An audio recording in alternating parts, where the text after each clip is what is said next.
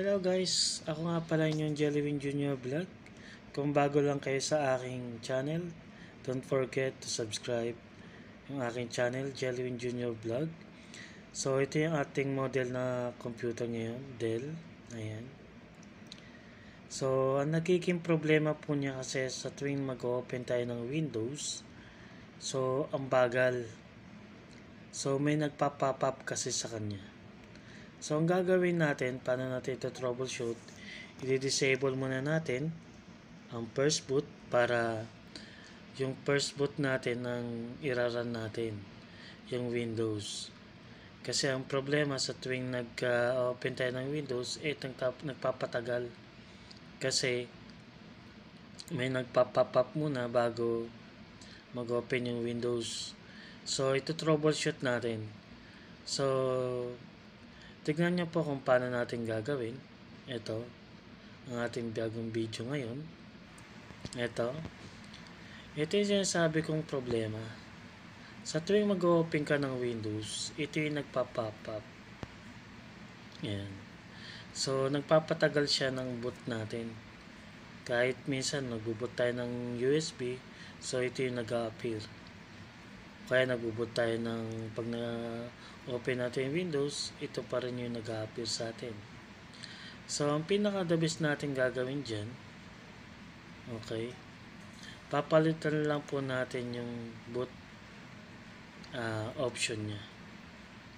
Ayan, saba, uh, restart natin yung computer. Ayan.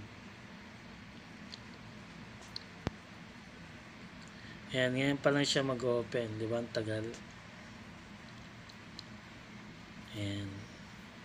So, i-control at delete ko muna ha, guys. Kasi, naka-administrator naka kasi ako eh. So, yan. Click natin to. Ayan. Kung papansin mo, okay na yung Windows, di ba?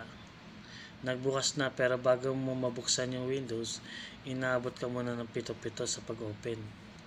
Lalo na kung mabagal pa yung computer mo, so buti ito mabilis-bilis kaya mabilis yung boot.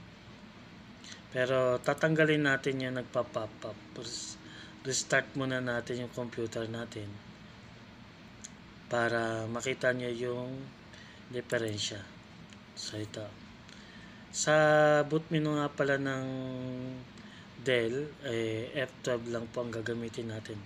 Click click click click click click natin ng mga tatlong beses para mag-open yung Windows. Ayan.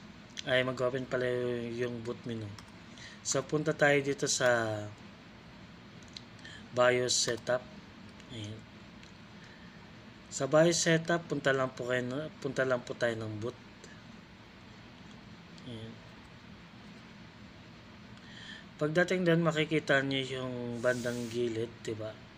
On on board uh, ayan, INC. Ayan. Ah, Nick pala, Nick, sorry. Yes. Ayan, ilagay lang natin yung hard disk natin sa unahan, itaas lang natin. Tapos apply. Ayan. Tapos exit. Okay. Ayan. Pag exit natin ganyan, So, dediretso na siya ngayon sa Windows. Yun po yung nagpapop sa, nagpapop up sa ating Windows, kaya nagpapatagal ng Windows natin. So, isa po yun ang dahilan kung bakit nagpapop up. Ayan. Kung mo, direct na siya agad sa Windows, hindi kagaya kanina. Ayan. Click ulit natin yun. Ayan, Control at Delete para mag-open yung Windows, tapos next natin. Ayan. Kung mapansin mo, di ba, dumaretso na sa Windows. Hindi kagaya kanina. May pinupuntahan muna siya bago mag, uh, bago dumaretso sa Windows. Pero ngayon, direct na siya kagad sa Windows. Once na na-restart mo siya, subukan ulit natin restart. Ayan. Tignan nyo mabuti.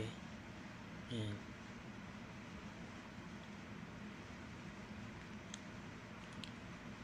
Pagka restart ng computer natin so direkta na kagad siya na sa Windows. Wala na nagpa-pop up, pinigaya kanina may nagpa-pop up, kaya nagpapatagal sa Windows natin. Ayan. Control at delete ulit natin, saglit. Ayan. So next. So, ganun lang guys kung paano tanggalin yung nagpa-pop up sa ating computer. Thank you very much. Masalam.